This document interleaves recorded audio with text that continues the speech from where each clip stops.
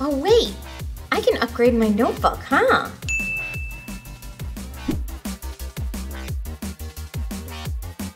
Hello, DIY techies! I'm Trisha Hershberger, and in this episode of DIY in 5, we're going to show you a couple of hardware upgrades you can do even on a notebook. Before we get started, don't forget to subscribe to see more tips for speeding up your system. We've said it before on this series and we'll say it again. Switching from a traditional spinning hard drive to an SSD is the best thing you can do to revive your PC. Your system will feel much faster with the addition of an SSD. The transfer speeds are far superior to hard drives since there are no moving parts in SSDs. Not only that, but they certainly are rugged. There is no way that's covered by warranty.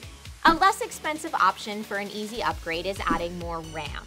Your notebook's CPU can access data faster from its RAM than the hard drive or SSD. The more RAM it has, the more data it can store there for quick access. It will most likely take you longer to find the type of RAM that is right for your notebook than it is to physically add the RAM to your system. Luckily, we've got a handy memory search feature on our website that can help with that. No big deal, it's because we love you. Did you ever think you could upgrade that aging processor in your notebook? Well, you can't. Sorry. I know lots of us made the jump from desktop to notebook, but this is one of the drawbacks. There are fewer pieces of hardware to upgrade yourself in that slim little notebook. Advantage to the desktop PC here. But just because you can't upgrade all your hardware doesn't mean you can't make your current stuff faster. Cleaning up your existing system software could be the easiest and simplest solution. A cluttered hard drive with tens or hundreds of programs and apps that you never use could be another reason that your PC is so slow.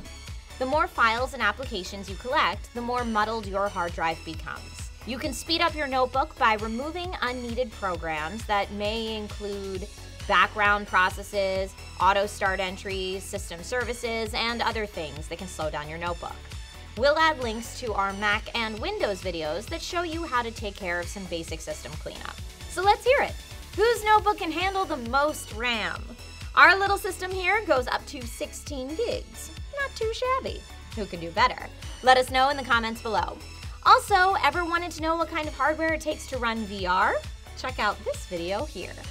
I'm Trisha Hershberger, and thank you so much for watching this episode of DIY in 5. See you next time.